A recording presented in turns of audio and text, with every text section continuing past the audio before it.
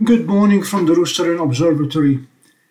As the market gets crowded with electronically assisted astrophotography devices or instruments, uh, I'm going to carry out a comparison of the specifications of Stellina, Vespera, Dwarf, and Seestar, the new uh, ZWO Seestar S50. I'm sticking to specification comparison, uh, primarily hardware. I assume that software will be upgraded to include more and more features. Uh, I will clarify that I own uh, Stellina and Dwarf 2 and I have ordered the Seestar S50 and I look forward to what each of them will allow me to do in imaging the heavens. First, price. Uh, yeah, there's a big differential between Stellina and Vespera on the one hand, and then the Seestar and the Dwarf 2 on the other hand. Uh, when I bought the Stellina about two years ago, uh, I believe that it was worth every penny that I paid for it. Uh, Vaonis no longer sells the Stellina, it shows as discontinued. Uh, Vespera is their new uh, flagship at uh, almost $2,500. Uh, weight appears to be proportional to price here. Uh, Stellina at 11 kilograms or 24 pounds was very nice to have, uh, much easier to carry than my Celestron 11 inch Edge HD on a CGX mount. Uh, Vespera is about half the weight and uh, Seestar, uh, 3 kilograms, 6.6 pounds. Uh, Dwarf 2 at only uh, just over a kilo, uh, two and a half pounds, is extremely portable. Uh, dimensions there also, size, shows that Dwarf 2 is not much bigger than a dictionary. Uh, for many viewers who have never seen or heard what a dictionary is, it's a book in which you used to look the meaning of words and how they are spelled. But uh, it is indeed, uh, Dwarf 2 is the smallest of them all.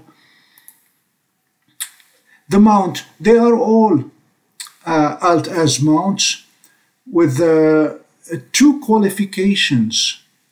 Stellina is the only one with a hardware field derotator uh, the sensor actually turns uh, to keep track of the movements uh, of the stars, and uh, that has proven very, very useful. Uh, Vespera does the field rotation by software, as does the C Seestar and the Dwarf. The Dwarf is the only one among them that can be mounted in an equatorial mount. Uh, I built a makeshift equatorial mount uh, pointed dwarf 2 to the North Star, to Polaris, and it did an extremely good job.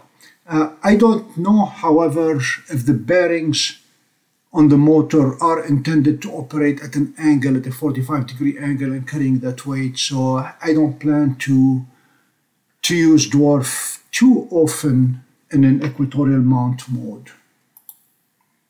They all have autofocus, with uh, some subtle differences. A Dwarf 2 autofocuses as fast as a camera would autofocus. Uh, point it to the moon, double click on it, and in a fraction of a second, it has perfect focus.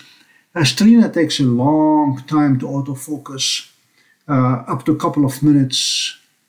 They will have a go-to with a fairly decent uh, catalog. Stellina has the most extensive catalog of them all. Uh, Dwarf is limited. I don't know about Seestar's catalog yet. And they all allow for uh, go-to based on right ascension and declination. Last but not least, connectivity. Uh, none of them has an eyepiece and none of them has a display. Uh, they all uh, they're all controlled via either a tablet or a cell phone uh, and Vespera use Wi-Fi. Uh, Dwarf 2 uses Bluetooth and then connects to Wi-Fi. And Seestar uh, claims both Bluetooth and uh, Wi-Fi. Optics. Uh, Stellina has the largest aperture of them all at 80 millimeters, uh, close to 3 inches. It has quite a bit of light gathering. I have been very, very pleased with Stellina's ability to find comets uh, at uh, magnitude uh, 11 and 12, sometimes 14, with enough uh, time in there. Uh, Vespera and Seestar are uh, almost identical, 50 millimeters aperture. focal length is slightly different. Dwarf 2 is the only one of the series with two lenses and two sensors. Uh, the main telephoto lens is 24 millimeters, uh, just under an inch, which gives it a 100 millimeter uh, focal length. Uh, Stellina at 400 millimeters uh, it does justice to the moon. Uh, of the of the three that I've tested, Dwarf 2 is the only one that actually showed me colors on the moon. I could see brownish and bluish. Uh, Stellina renders it all in uh, essentially shades of gray. And uh, I'm talking here about the raw imagery and not much uh, post processing. The second lens on Dwarf 2 gives it a very, very wide field of view, 50 degrees uh, at f2.4 and 48 millimeters.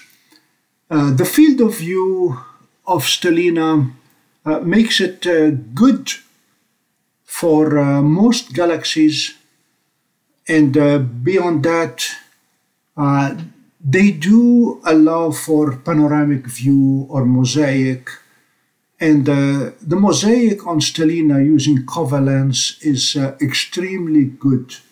Uh, it allows the expansion of the field of view by a factor of four, uh, two in each dimension.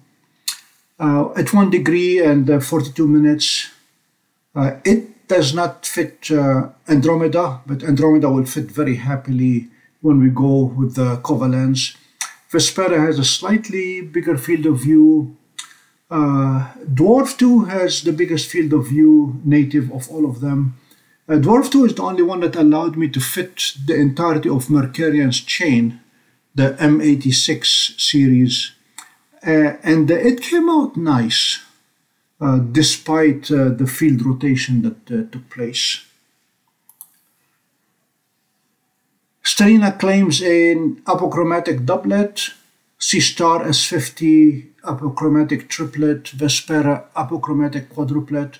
The only thing I could find about Dwarf 2 is that the lens is in a periscope configuration which allows it to maintain its uh, very, very small uh, form factor. The sensor technology, uh, Sony IMX178 for Stellina, uh, Vespera and Seestar use the same uh, IMX462 CMOS sensor, and Dwarf 2 uses the IMX415. And the differences among them is uh, number of pixels. I'm very, very happy with Stellina's 6 megapixels, uh, 3000 by 2000 pixels effectively. Uh, it gives me a lot of latitude to work with.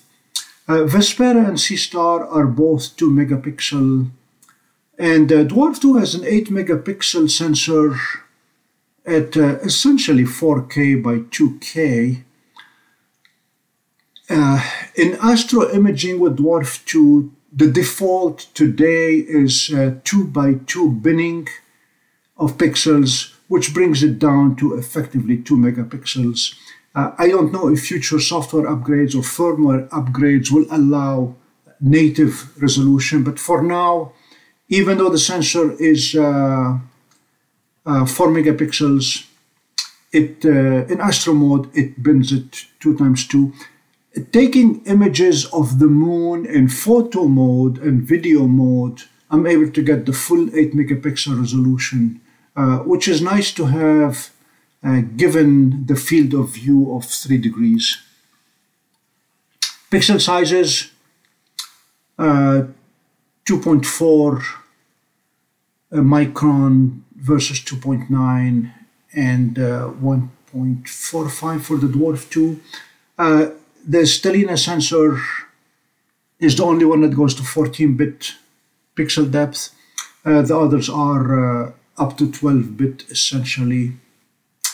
Uh, that's it for uh, specification comparison. Uh, I look forward to getting the Seestar. Uh, Stellina will uh, will maintain its place as a deep sky object astrophotography for me. Uh, the Seestar and Dwarf will have uh, two separate missions. Uh, Dwarf 2 is the only one with the two cameras. It's the only one that allows me to do uh, daytime photography. Point it to the moon at the, during daytime, click on it, and we are in business. Uh, I don't expect any of the others to be able to image the moon during daytime. Uh, I also use it for uh, wildlife photography, uh, and uh, it comes in very handy for cloud photography, which is what I do most of the time around here. Uh, that's all for this comparison. So long from the Rooster Observatory.